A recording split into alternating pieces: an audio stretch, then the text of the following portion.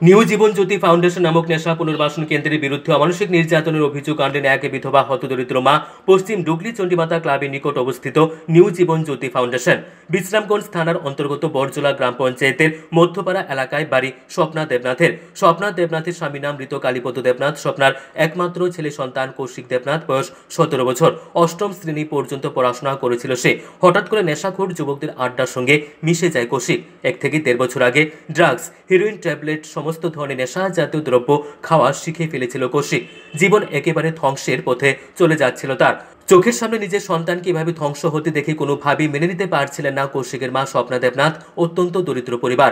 কোনো রকমে বিভিন্ন ধরনের কাজ করে সংসার প্রতিপালন করছিলেন। এরই মধ্যে অল্প বয়সের একমাত্র ছেলেটি নেশায় আসক্ত হয়ে জীবন ধ্বংস হয়ে যাচ্ছিল। কি করবেন ভেবে পাচ্ছিলেন না তিনি। তখন এলাকার মানুষের সঙ্গে এবং আত্মীয় পরিজনদের সঙ্গে কথা বলে ঠিক করে যে কৌশিক দেবনাথকে নেশা পুনর্বাসন কেন্দ্রে পাঠানো হবে। সিদ্ধান্ত অনুযায়ী গত বছরের আগস্ট মাসের একত্রিশে তারিখে কৌশিক দেবনাথকে পশ্চিম ডুকলির নিউ জীবন জ্যোতি ফাউন্ডেশন নেশা পুনর্বাসন কেন্দ্রে পাঠানো হয়। প্রতি মাসে অনেক কষ্ট করে, লাকড়ি বিক্রি করে মানুষের বাড়িতে কাজ করে নিজের ছোট একটা পুকুর লিজ দিয়ে বিয়ের একমাত্র স্বর্ণের হার।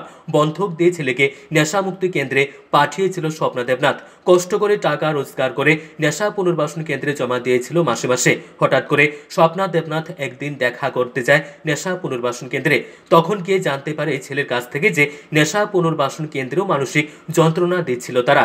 একদিন জ্বর উঠেছিল কৌশিকে চিকিৎসা না করে উল্টো কৌশিকের শরীরের সমস্ত জামা কাপড় খুলে ফ্লোরের মধ্যে প্রচণ্ড শীতে আটচল্লিশ ঘণ্টা দুটি পাখা ফুল স্পিডে চালিয়ে রেখেছিল। মানসিক যন্ত্রণা করেছে এবং মারধর করেছে কৌশিককে, যার ফলে কৌশিক একেবারে অচল হয়ে পঙ্গু হয়ে যাওয়ার অবস্থা হয়েছে।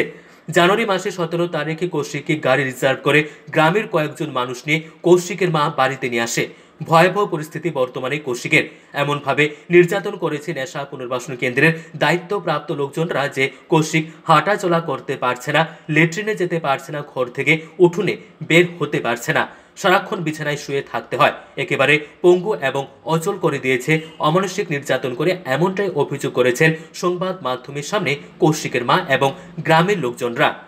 কৌশিকের মায়ের দাবি, নেশা পুনর্বাসন কেন্দ্রে ছেলেকে পাঠিয়েছি, নেশা থেকে যাতে ছেলে মুক্ত হয়, সুস্থ জীবন নিয়ে ফিরে আসে, কিন্তু নেশা পুনর্বাসন কেন্দ্রে ছেলেকে একেবারে পঙ্গু বানিয়ে দিয়েছে।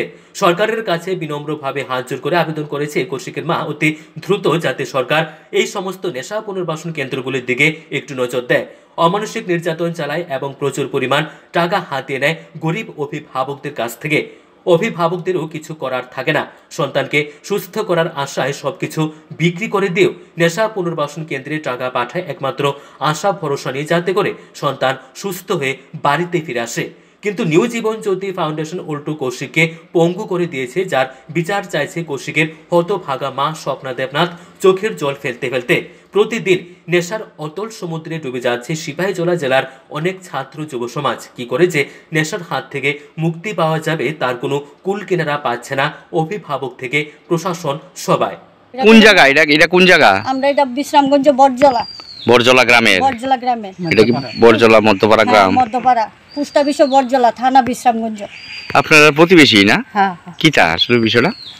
ওই নিচামুখ করতো আর কি তো এরপরে খোঁজ খবর লই আর নিচামুখ তো কেন্দ্রের মধ্যে দিছে যে ভালো হইব।